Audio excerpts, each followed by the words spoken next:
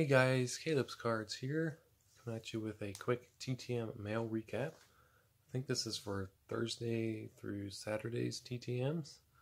Um, I didn't get a chance to do a video for you again, so trying to get this one done for you.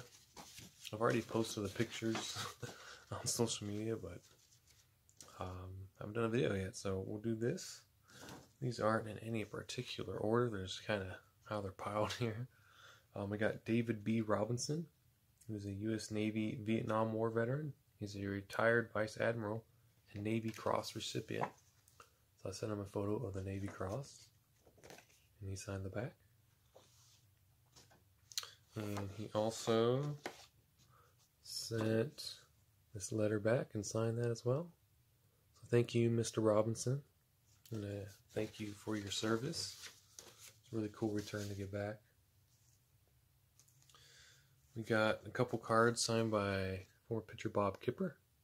Got 88 Fleer and 87 Topps. And then got this out of a dollar pack from the antique mall from whoever went. I still was holding on to him. Former Rockies catcher J.D. Closser. He also played for other teams as well, but he's in a Rockies uniform here. So thought it'd be a cool one to get.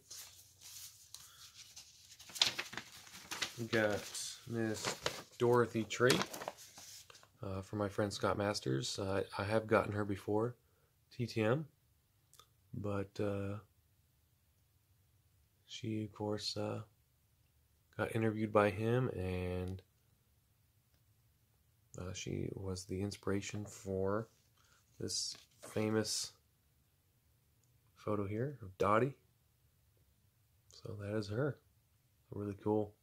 She still is active and speaks and goes to a lot of events and she's 102 years old guys. So pretty remarkable. She's uh she's in a little, little pamphlet there. Lindsay Ballroom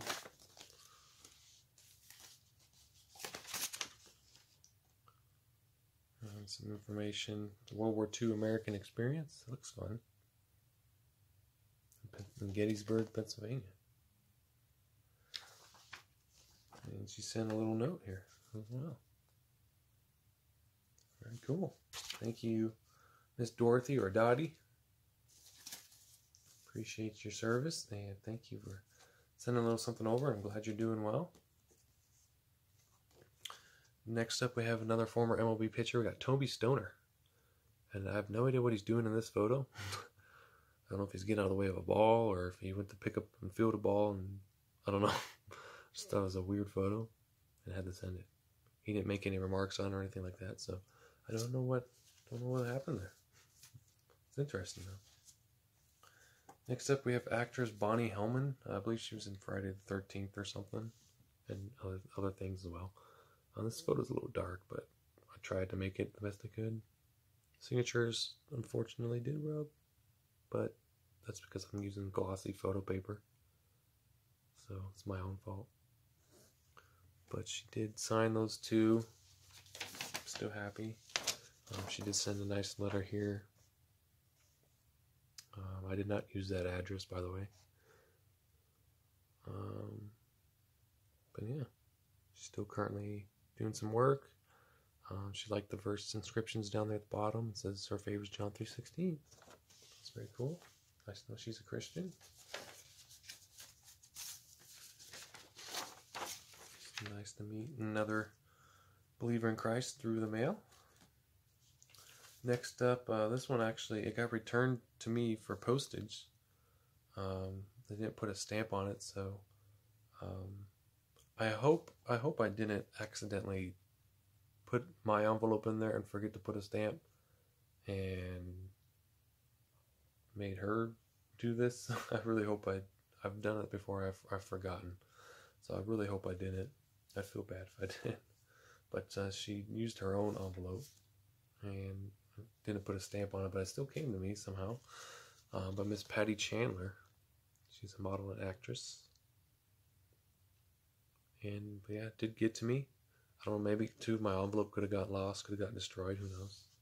But I'm glad it still got here. Um, I didn't get a note or anything from my mail carrier saying to put some, put like 68 cents or whatever in, in, a, in there for him, but I can if I want. Just leave it there for him. I don't know how much the stamps are now. It's something 60 something cents now. This next one, uh, this is the other TTM that went to my parents' house. It's from July 2020, so it is over four years old. Um, I could be wrong, but I believe this gentleman, I think he lives partly here in Colorado and partly out of the country. Um, so that could have been why it took so long, or you never know because the mail it could have literally just been delivered to him recently. I don't know. um, but Milan Hejduk, former Colorado Avalanche right winger, signed three cards ahead of his. So pretty cool to hear back from him. Glad it did come and they came like consecutively. Consecutively, we had the Anna Kournikova, which was sent in July 2020. Then we had that one, also sent in July. Next up, we do have a failure. Got Bernie Kosar, so don't use that address. That is not him. but I tried. Um, this is an email success. This is from Ari Shapiro. He's a uh, journalist. And uh, he sent a little note. And the sticker that he also signed. Ari Shapiro is my co pilot. He says that uh, when it hits the sun, it makes a rainbow. So, cool. And lastly, another email success. Come back from race car driver Ryan Roulette.